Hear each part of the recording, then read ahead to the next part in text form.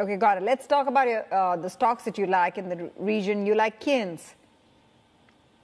Well, I, I, we've been a shareholder in Keyence for 14 years now, and um, we, we're attracted to companies both domestically and globally that are taking market share.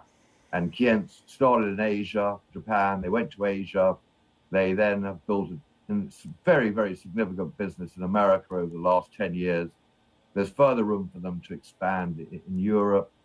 Um, the model, as you know, is fabulous. So it's very, very profitable. That's why they have profit margins of over 55%. For us, one of the key characteristics is the free cash flow. And unusually in Japan right now, Keyence is one of those companies that has a very low dividend yield, about 0.4%.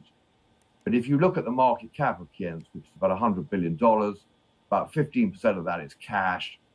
If they use the annual free cash flow simply for the dividend, the dividend will go from 0.4% to 2.5%. That, so that shows you what's easily possible and so we like the fact that they're you know, at the, at the forefront of robotics, automation with their sensors, but also from a shareholder return perspective, there's considerable scope for the company to improve their dividend yields. And if they did that, I think the stock would, would, would react quite positively.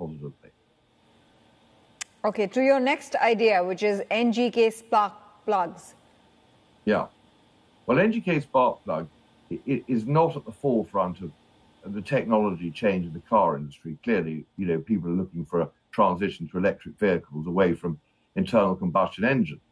But the reality is there's a lot of value in this legacy spark plug technology.